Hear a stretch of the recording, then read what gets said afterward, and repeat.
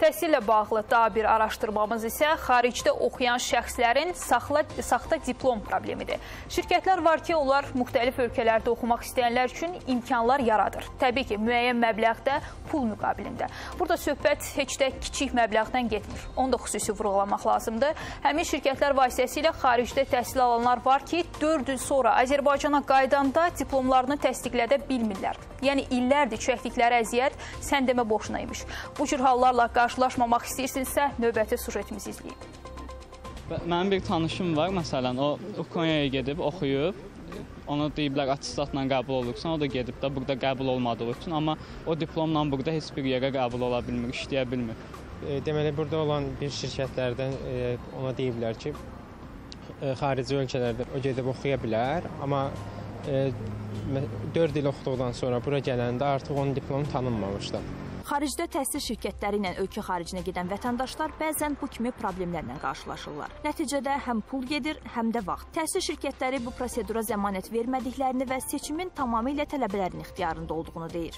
İlk növbədə tələbənin e, öz seçdiyi ixtisasa baxırıq və e, tələbənin e, nəticələrinə uyğun olaraq e, o ixtisasda oxuya biləcəkmi, oxuya bilməyəcəkmi və e, çox vaxt tələbələri həmin ixtisasda oxuyan köhnə e, əvvəlki tələbələrlə də əlaqəyə salırıq ki, yəni bu e, təhsil prosesi bu cür çətinlikləri var. Yəni sən bunu oxuya oxuya biləcəksənmi ya yox? Yəni bu burada təhsilini davam elətdirə, elətdirə biləcəksənmi? Və universiteti tələbənin özü seçir.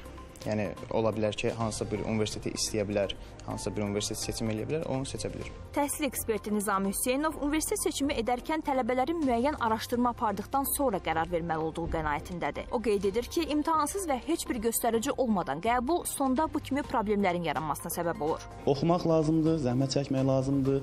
Türkiyəyə getmək istəyiriksə, zəhmət çəkib YÖS hazırlıqlarına getmək lazımdır və yaxud ə, e, tanınan hansı imtahanlar varsa, A-level üzrə imtahanlara getmək lazımdır.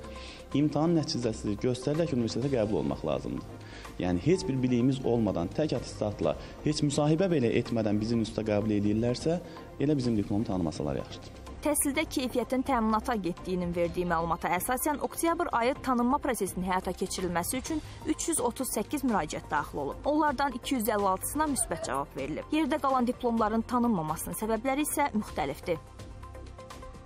Mənfi qərarlar əsasən iki səbəbdən dolayı olmuşdur. Birinci, tədris dili üzrə biliklərin qənaətbəxş olmaması. Burada baza ünsiyyət qabiliyyətindən söhbət gedir. İkincisi isə tələb olunan müddət ərzində təhsil ölkəsində olmama.